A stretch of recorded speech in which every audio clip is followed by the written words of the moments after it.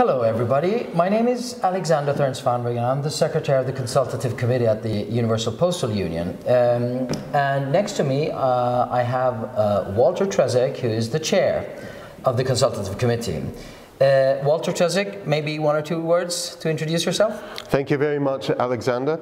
Um, I'm here on behalf of e-commerce Europe um, because e-commerce Europe asked me to run for the chairmanship and um, I got re-elected um, earlier this year.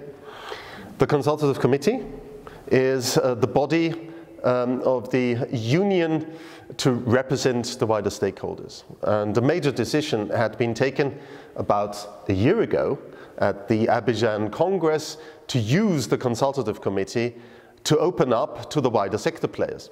So this is something very interesting, uh, and as a matter of fact, something will happen on 1st July, which is actually marking a major milestone in our history. What Ab is that? Absolutely, absolutely, because there will be um, a major change uh, in the union. The change is that the consultative committee changes from a consensual body, where all the different parts of the union had been represented, so the designated operators, the governments, the regulators and the private sector to a very focused committee only for the private sector. And that's very, very important because it will be used to help the Union to focus on all those ongoing developments. Digitalization, opening up of the Union to the whole of the sector, not only the designated operators, but also the ongoing big things happening in the background. The big storm coming, inflation, and what have you. So if our future members would like to have more information about the structure, they can go online uh, uh, on the consultative committee webpage and, and, and dig into that and get more information. I'd like to move on to maybe talk about some of the benefits for uh, consultative committee members, private companies, but also non-governmental organizations. What can you say about that? Well, the union is already the body shaping the future of the whole postal sector. And uh, the union went through, uh, through a, a, very strong uh, move forward um, to shape digitalization of, of the postal environment.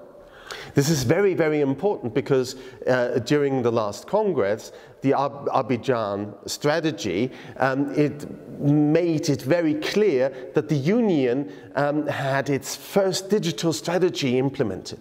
So everything turns digital. And the wider sector, therefore, is highly important because they are shaping it together with the union. And the consultative committee will be the body um, to facilitate that. All right. So again, more information is available on the webpage. Um, could we maybe just talk about um, why do you think that private companies who previously were not allowed to be members and now as of 1st of July can actually apply to become uh, a fully fledged member of, of the uh, consultative committee, why should they apply? And what different options do they have to actually collaborate and, uh, and, and, and add value to the work of the union? Again, digitalization facilitates partnership. None of the big companies, even the largest postal operators currently represented here at the Union, can do it by itself. They need partners, and the partners are the private sector suppliers to the industry.